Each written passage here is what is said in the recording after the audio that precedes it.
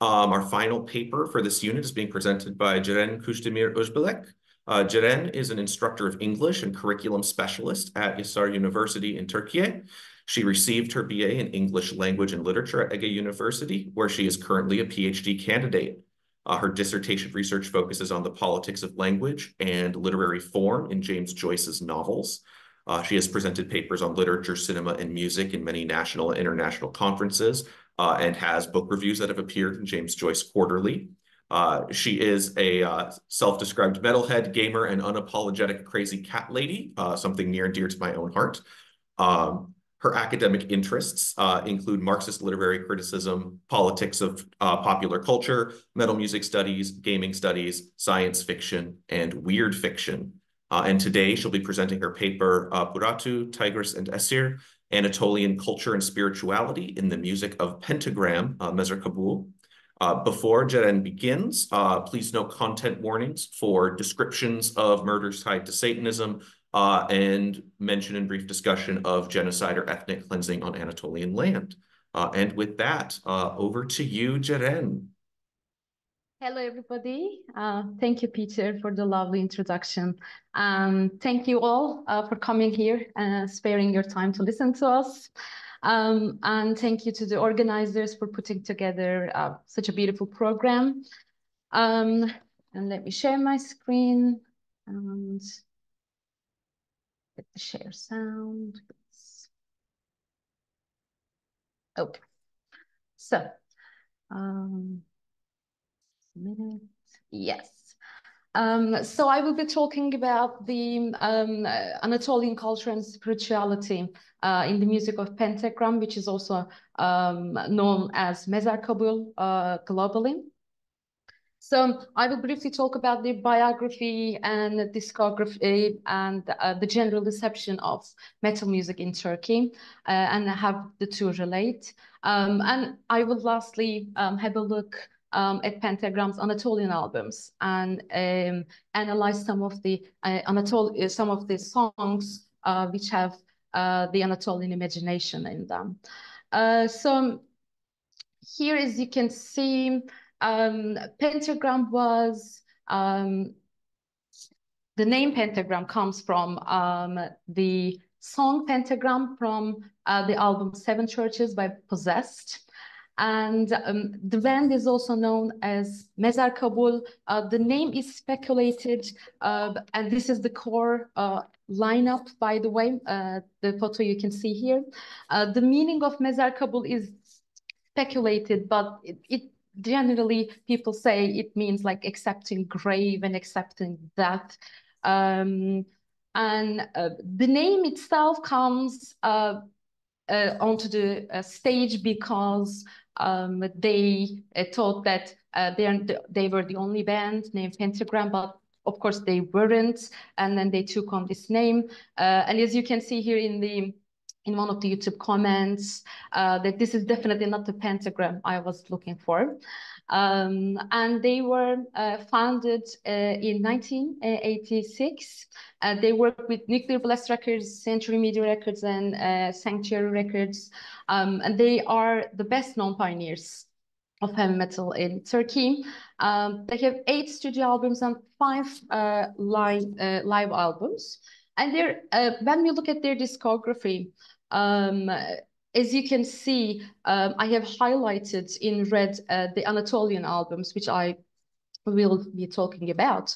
Um, the first two albums, Pentagram and Trailblazer, they were um, very much heavy in sound. They were speed metal albums and uh, thrash metal albums. Um, with Anatolia Unspoken and Bir, which means one, um, they uh, these albums are um, they talk about uh, they talk a lot about the Anatolian imagination and Tur Turkish folkloric elements. Um, and their last three albums they are softer in um, in sound. Um, now I will move on to the um, uh, the general reception of metal music in Turkey. As you can see, these are some newspaper clippings um, from uh, from Turkish newspapers. Um, and in the first image, it says uh, "Putlar yıkılıyor." It means uh, this is uh, a quotation um, that, that the idols are coming down uh, with with Turkish metal bands on stage. Um, and in the second newspaper clipping, it says uh, it literally says "cradle of filth." there were some police raids in some metal shops um, and they people were uh, detained and they were uh, metal uh, heads, they were blacklisted. And um, here are, um, in the first uh, newspaper clipping, you can see uh, the first uh, Satanism related murder that took place in Turkey. And these three people, uh, they murdered a woman, uh, they said for the, uh, for the Satan. And then they said Satan congratulated us uh, after we murdered. Um, and after these, uh, you know, this was in 1999. Uh, and um, this was uh, in, this this happened in the late 19s, where the satanic panic was going on in in Turkey, and this was the culmination uh, of that panic uh, propagated by the media. And uh, and in the second uh, clipping, uh, you can see a kind of a manual. So beware, beware, parents. How can you understand how your child is a Satanist? And there's a list, and the parents are gonna you know tick uh, every one of them. Uh, they uh, one of the items say one of the items says um, if your child is listening to heavy metal like Black Sabbath and Led Zeppelin, they might be a Satanist. So um, here um, I have put like uh, some parts of the uh, some parts of uh, the, one of their um, pentagrams interviews. Um, and here they talk about, we take the um, Alevi Bektashi culture as a source uh, for uh, our music. Um, against the background of this uh, violent imagery stuck to um, heavy metal, uh, Pentagram says, we take Alevi Bektashi culture, which is a kind of a, a branch, a sect in Islam, uh, in, in Shia uh, tradition, not the Sunni tradition, which is which uh, which is the basic and majority uh, of the tradition. Uh, Alevi Bektashi culture is a kind of um, it's related to the uh, Sufi tradition, Sufism, which is a kind of a esoteric and mystic uh, Islam. Um, and they also say, um, the interviewer asks, um, for the rock and metal music, they say uh, it's a kind of a, a, tool for Satan, like the invention of Satan. Uh, and they said um, is it possible? And then they said uh, the only place that Satan exists is the human mind. And with that, uh, I, I, guess this quotation is very much on point. Uh, Deena Vince, uh, Weinstein says heavy culture, uh, heavy metal is a cultural coping mechanism. Uh, in heavy metal, the transvaluation of religious symbols joins with the sound of the music, which is inherently vitalizing, to tweak a devitalizing, bureaucratic, inauthentic, iron-caged, and unfair world. With that, I will move on uh, with the uh, with the albums. Um, in their first Anatolian album, it, it's uh, it's named Anatolia, um, and we have two songs, Anatolia and Gündüz Gece, which means day and night. Um, these two songs in in Anatolia, we hear Bağlama, Saz, which you can see on the screen, um, it has a symbolic value um, and uh, especially in Alawi culture and, and folk music and saz um, in general, they were uh, tools uh, used to revolt against the Sultan uh, in, uh, uh, modern Turkey. So this is something to keep in mind. Um, these are the, uh, there are two versions of this song and the uh, English version is not the translation of the uh, Turkish version. They're two separate songs. Um, but uh, generally what they're talking about here is the idea that um, Anatolia is a land of, um, is a land of like uh, violence and some kind of a place for mourning uh, because uh, there were lots of you know wars um, and uh, ethnic cleansing and slaughters uh, committed here. Uh, so um, I will just play for you a few uh, seconds of the song, uh, and then you can see how um, you can hear in the background uh, the sound of bağlama.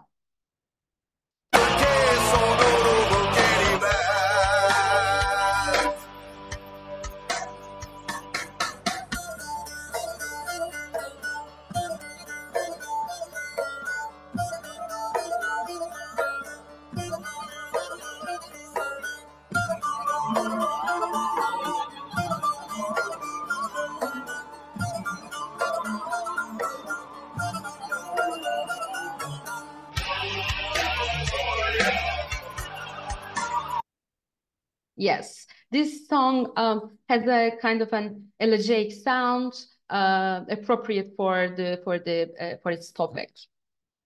And the second song is called Gündüz Gece, and it's um, it's a cover song uh, for uh, from Aşık Veysel. Uh, Aşık means bard in Turkish culture. Aşık Veysel was a, a folk poet um, and this song is very is a, very philosophical song. And uh, Aşık Veysel uh, comes from the minstrelsy tradition in Turkish culture. Um, and they uh, minstrelsy tradition it explores themes of uh, individuals struggling to exist in the world as you can see here uh, from the um, lyrics uh, the relationship between individual and society it has a very simple and clear language, like proverb-like. Um, and this song is is very much representative of of the Turkish uh, traditional Turkish uh, society and identity. Like from the moment I was born, I also started to walk in an inn with two doors, like life and death. I'm walking day and night. Uh, by the way, translations are mine, uh, unless otherwise stated just so you know. The second album I will move on to is uh, Unspoken. Uh, this is the album they uh, they started to be known uh, widely uh, in the global scene. Uh, I will have a look at two songs in Esir Like an Eagle and Puratu, and we will hear the sound of a very important Turkish um, flute-like instrument, like kind some kind of a Turkish reed pipe, uh, which is called Ney. Um, yes. So um, in Esir Like an Eagle, it's it's uh, it's a song um, which has an important chorus, like no possession, no religion, like a lion in the jungle. Uh, now is the only time, here is the only place meant to be flying in Esir like an eagle. Esir uh, is an Arabic word uh, and it comes from the Greek ether. Uh, it was known as the, in medieval cosmology, it was known as the um, fifth element, the material that uh, used to be known as uh, the material that fills the universe, like the quintessence of the universe. As you can see in the picture, um, they thought that Aether was the place in the like the outer circle. Um, they uh, this um, uh, flying in the outermost part of the um, universe like an eagle. Uh, and here uh, I will just play you the song and then you can focus on the uh, sound of the ney uh, in the background, which has a, kind of a symbolic, a symbolic value again in the tradition of um, in the tradition of uh, Sufi music.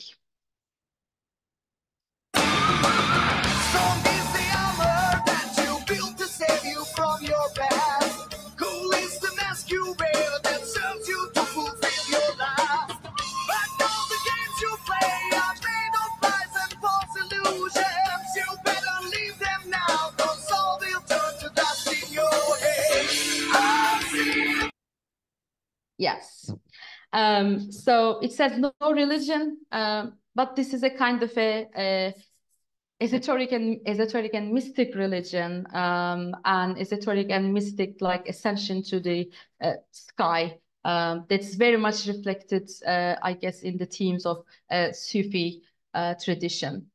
Um, in the song Puratu, uh, this is a song, uh, we return to the Anatolian geography and they use here the river metaphor.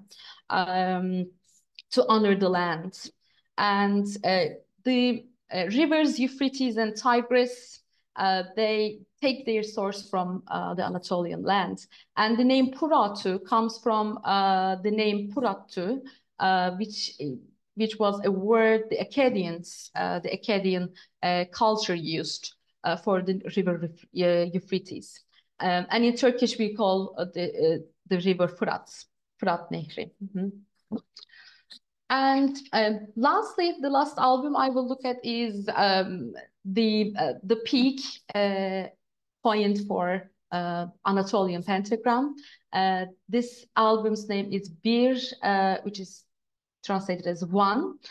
And this was this album was a direct response to the allegations of Satanism from the band. Um, this album changed everything. So until uh, until this album, um, it was like folkloric elements and uh, instruments for pentagram. But here, uh, they were directly responding to the allegations of Satanism uh, in their music. Uh, to shake off that, you know, uh, Satanist uh, label. Tigris was an instrumental song, which was like a kind of a, a brother song to sister song to um, uh, and I will have a look at uh, two songs like uh, the uh, song Bir and Şeytan Bunun Neresinde which can be translated as very Satan in this. So Bir, um, Bir was one of, Bir is one of their uh, favorite uh, songs of the Pans. Um, here I would like to take your attention to the the lyrics in red. here the one uh, is uh, is the symbol of it. Uh, it's the symbol for God, the Creator, whatever one uh, believes in. Uh, this song is in Turkish, uh, but I made a translation for you, ad adapted from uh, this link. Uh, it says, "Don't be afraid of." This is the chorus. Don't be afraid of anything, neither death nor life. All you have seen in this life, they are all one. They are all from the gods. Um, it says they wrote books to tell you, uh, but imams and priests misguided you. Um, they are all the same, all perfectly fine. Jesus, Moses, Muhammad, Buddha, they have known what you are deep within. And uh, here, this is one of the um, one of the YouTube uh, comments uh, that somebody wrote. Uh, this is in Turkish, but it generally says, uh, it basically says, no muezzin, uh, muezzin is the person who calls to prayer uh, from the mosque. Uh, no muezzin can convey the sense of religious faith this song gives. I guess this is, uh, this explains uh, a lot. So um, the last song I will have a look at is uh, very Satan in this. This is this is again important in Pentagram's discography. Um, this is again a, a, cover song from Aşık Dertli, uh, which is uh, who is um, who was again uh, a kind of a bard minstrel from the Aşık tradition. Um, Şeytan Bunun Neresinde was written by uh, Aşık Dertli as a response to people who came to his house and criticized him uh, and his music as the product of Satan. Uh, so uh, that was why Pentagram like uh, covered this song as a response to the allegations of Satanism. Um, the song says string saz is its name. It listens neither the Quran uh, nor the Islamic judge. The one who plays this understands himself. Where is Satan in this? Um, it doesn't do anything haram like the mufti, another religious person. Where is Satan in this? So there is no Satan in, in myself. Uh, its string comes from Istanbul. Its uh, neck made from juniper. Uh, Godzidi is slave. Uh, is Satan in this? So this song was, uh, uh as the critics uh, argue, this song was a direct response to the uh, allegations of Satanism. And the important thing here is that it, it was from the heart of the Turkish uh, culture. And this is what we call taşlama in Turkish literature. Uh, it can uh, loosely uh, be translated as satire, uh, but actually it means, if we translated it uh, literally, taşlama means stoning. It's like stoning with words. Um, and it's uh, it's a critique of bigotry and fundamentalism in in religion. And as Hecker here says, um, şeytan bunun neresinde must be seen as a strong statement of defiance in the face of social uh, repression comes mainly uh, coming from religion. And to conclude, um, as uh, as critics uh, argued, uh, Pentagram's music uh, reflect a kind of a simultaneous construction of similarity and difference. Similarity because of their use of uh, Turkish culture and difference because they are doing heavy metal, which is which is uh, very foreign to Turkish culture. Um, they used to have a song in their early years. They used to have a song in Satan We Trust. So from in Satan We Trust to all is one, all from the God. This represents a kind of a like a big transition.